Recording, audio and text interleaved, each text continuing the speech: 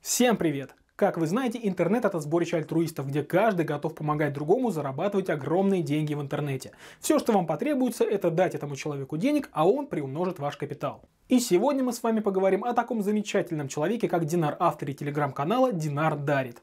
Динар настолько богатый и альтруистичный человек, что просто так готов давать людям от 100 до 200 тысяч рублей. Главное ему об этом написать.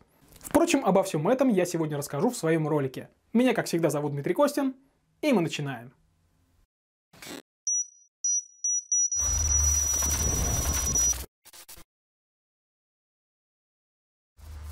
Друзья, у меня для вас небольшое объявление. Мне для одного проекта требуется пара-тройка человек для написания текста, точнее транскрибации. А если быть еще точнее, нужно написать текст с готового видео. Но не слово-слово, а своими словами. Изложение же в школе все писали. Не знаю, будет ли данная работа разовой или постоянная, но главное условие, чтобы вы могли нормально изложить услышанное своими словами. В общем, вся суть, все условия и оплата будет у меня на блоге в разделе вакансии. Для заинтересованных ссылка в описании. В общем, как я уже и говорил, есть некий телеграм-канал Динар Дарит, где этот самый хрен пойми какой Динар обогащает народ. Судя по его посту, он простой человек, который много трудился и теперь миллионер. Но самое главное, он готов перевести 200 тысяч рублей просто так, потому что может. Вот зашибись, что даже объяснять ничего не надо, он просто может и живет интересно. Но чтобы доказать, что он богат, успешен и живет на полную катушку, он выкладывает видосики, где он едет в дорогом автомобиле. Его запястья обволакивают дорогие часы, а рядом всегда дохерлион пачек наличности. Но лица своего он, конечно же, не показывает, как и голосок свой сладенький не активирует. Но в принципе у Динара есть аватарка, правда непонятно, это его ли вообще фотография или какого-то другого человека. Хотя, конечно же, все это легко проверяется. Для этого достаточно загрузить фото этого замечательного человека, например, в Яндекс картинке. И что же мы видим? А видим мы, что это фото, словно женщина легкого поведения, обслуживает очень много человек, так сказать, ходит по рукам. Про самого человека на фото ничего сказать не могу, но это точно не Динар. Хотя, может, конечно, его и зовут Динар, но это не тот Динар, который в этом телеграм-канале. Но как бы то ни было, я всегда ловлю такой кринж, когда вижу все эти атрибуты богатого и успешного человека. В сегодняшних реалиях, если вы видите съемки внутри автомобиля, часы, деньги и так далее, то можно смело слать такого персонажа на три веселых, ну или не очень веселых буквы. Для того, чтобы участвовать в его розыгрыше, нужно поставить плюсик и сказать, что вы участвуете. Места ограничены, так что торопитесь, но по факту для вас-то местечко всегда найдется. В своем телеграм-канале он создает некий ажиотаж, потому что время розыгрыша ограничено, а участников много. Поэтому придется просто разорвать его личку. И как только он вас выберет, а он вас обязательно выберет, начнется переписка, где этот поц будет интересоваться, на что вы потратите деньги. В общем, зубы заговаривать. А потом скажет, мол, что из-за того, что он совершает многомиллионные транзакции, банк поставил ему блок антифрод, из-за которого переводы доступны только доверенным и проверенным лицам. А знаете ли вы, как стать доверенным лицом?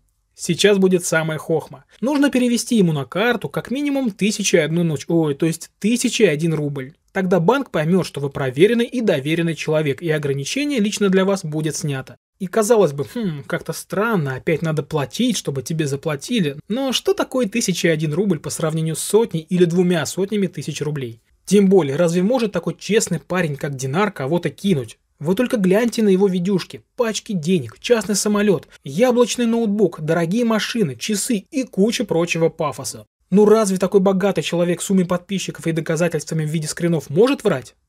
Да нет, конечно. Тем более он выкладывает скриншоты переписок, где такие проблемы случаются постоянно. Людям приходится совершать по несколько платежей, и многие уже сомневаются, думая, что Динар настоящий мошенник. Но все-таки доверяют ему, и после отправки последнего платежа Динару все-таки удается пробить все шлюзы и защиты, и деньги в итоге оказываются у пользователя. Человек счастлив, благодарит Динара и бежит ставить свечку в храм за здравие.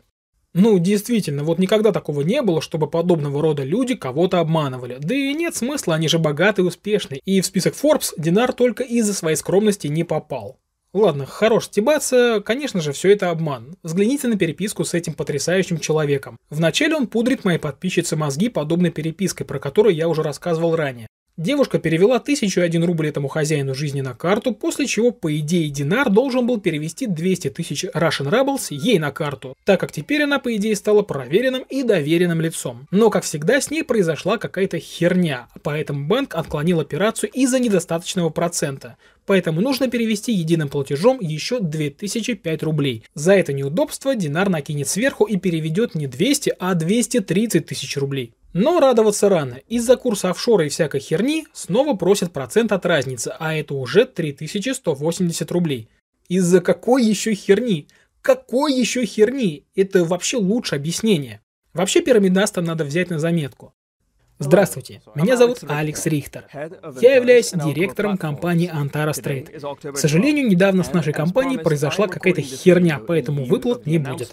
Конечно же, все это надо перевести снова на карту этому балаболу, но она может не переживать, так как транзакция уже в облаке. И деньги поступят менее чем через 15 минут. Ну, совсем ведь чуть-чуть комиссии не хватило, эх, какая жалость. Ну ладно, 3180 рублей отправь и все деньги точно придут. А пока они в облаке в течение 24 часов. И лучше успеть, иначе карту могут и того заблокировать. Несмотря на то, что девушка сказала, что денег больше нет, тот настаивал на том, чтобы деньги она все-таки нашла. Всего-то 3180 рублей. Но после отказа Динар больше ничего не писал. А через некоторое время и вовсе почистил всю переписку и на сообщения больше не отвечал. Это ей еще повезло, что она попала на столь скромную сумму, а ведь он продолжил бы доить ее и дальше, и переводить пришлось бы гораздо больше. Я уже рассказывал, как это все проворачивают разводила с чужим паспортом. Суть примерно такая же, просто другое наполнение и легенда. А ведь некоторые просто не могут остановиться. Недавно всплыла новость о подобном разводе, как скромная, но, видимо, очень азартная женщина-бухгалтер решила подзаработать на ставках. Женщине просто написали с незнакомого аккаунта, что могут приумножить ее средства. Только в отличие от подобного развода, мошенник не высылал фото левых людей с раскрытым паспортом, а высылал фото раскрытого паспорта на фоне ноутбука. Она взяла и поверила. Лох, как говорится, ну, впрочем, вы и сами знаете, кто есть лох. Но самое главное, что из-за своего азарта и жадности она не прекращала переводить мошеннику небольшие суммы по несколько тысяч рублей. И все присылала и присылала, все больше и больше, пока в итоге не получилось 200 тысяч, а точнее 211 тысяч рублей. После очередного перевода мошенник заблокировал этого бухгалтера в мессенджере. Женщина, конечно же, написала заявление, но пусть даже не надеется на возвращение средств. Паспорт поддельный, да и счета, конечно же, не настоящие.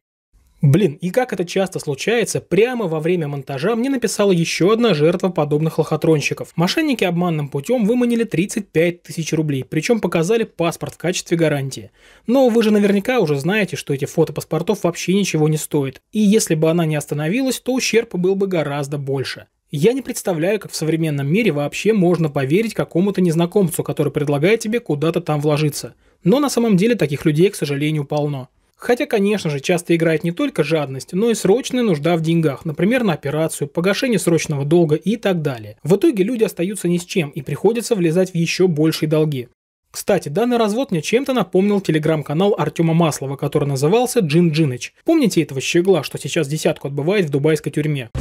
Детка, я открыл тебя, я знаю твой пин Просто я мерзавец, а не Алладин Но меня не кровь поступит и бензин Твоя психика не вытянет такой тип ну нахер. Он также обещал приумножить капитал разными способами и даже отправлял скриншоты выплаты и отзывы от благодарных людей. Но все это был, конечно же, фейк. В итоге карма настигла ЧСВшного щегла и присел Артемка на бутылку за оскорбление национальной валюты. Ну, это так, просто вспомнилось. В общем, я предлагаю закопать данный канал по мере возможности. В описании я оставлю ссылку на канал, но не ради того, чтобы вы получили 200 тысяч рублей. Вы их, конечно же, не получите, а чтобы пожаловаться на него. Я думаю, что у вас это много времени не отнимет. Ну а на этом у меня все. Ставьте лайк и подписывайтесь на мой канал, а также на все мои паблики в социальных сетях. Спасибо за просмотр. Пока.